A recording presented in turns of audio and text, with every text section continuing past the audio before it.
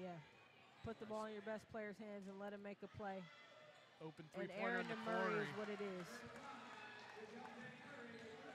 Devontae Murray. Three-quarter shot. Oh! Oh! Much needed three pointer heave by Kadeem Strickland.